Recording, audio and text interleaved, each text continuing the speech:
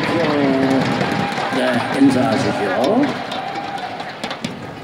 저 세상에서 이 세상 구경 나온 81년 차 여행객 이응선입니다. 아유, 예. 아유, 81세시면은 뭐, 아유, 정말 이제 오늘 나오신 출연자 중에 제, 최고령이신데, 포항이 고향이신가요? 아니요, 저는 충북 보은이 고향입니다. 아, 보은이요? 네. 아, 그 양반의 고장이고 대추가 또 이만하죠, 그냥. 네, 그렇습니다. 예, 예, 예.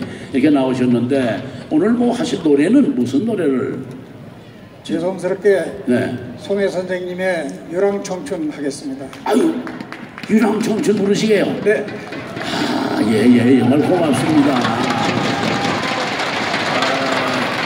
뭐 여러분들이 이렇게 고맙게 박수는 주시는데, 그게 뭐 제가 노래하는 가수가 아니기 때문에, 뭐 그게 여러분들 마음에 드셨겠습니까마는, 어, 지난해, 지지난해는 정말 우리 대한민국 국민이면 남북 관계가 잘 이루- 이루어져 돼서 남북 통일이 됐으면 하고 기원했던 그 두 해거든요.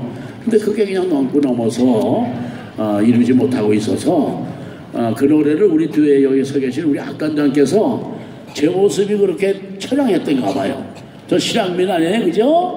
뭐 포항에도 실향민이 많이 계실 줄 믿습니다만 이 바닷가에 많이 계셔.